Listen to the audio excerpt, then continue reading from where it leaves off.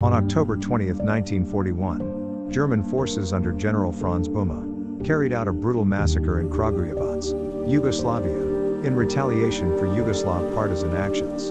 The massacre followed Adolf Hitler's orders for 100 Serbians to be executed for every German soldier killed, and 50 for every wounded, aimed at suppressing resistance in Eastern Europe.